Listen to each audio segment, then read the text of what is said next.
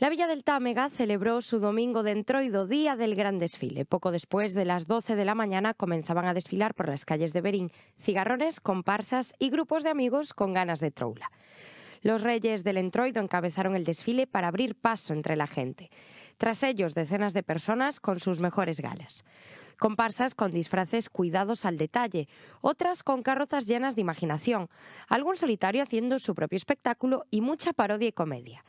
El rey emérito volvió a España, concretamente a Berín. También lo hizo Piqué y grupos de elfos, mexicanos, esquimales o la familia Picapiedra. Todos ellos llenos de color y con el desparpajo de hacer reír a la gente. Caramelos y algún que otro licor se repartieron por las calles de Berín para culminar el desfile con un grupo que buscó mantener la tradición. Kilos y kilos de harina fueron lanzados desde su carroza al público. Acompañando y deleitando a las comparsas y cigarrones estuvieron las charangas Los Támega, Noroeste, Tatú, Pinta, Bebe Más y Nova Tribes, los que también pusieron el ritmo durante toda la jornada en diferentes puntos de la villa. En la Plaza Mayor debutaron las orquestas Miramar y Finisterre, que hicieron bailar a los entroideiros hasta bien entrada la madrugada.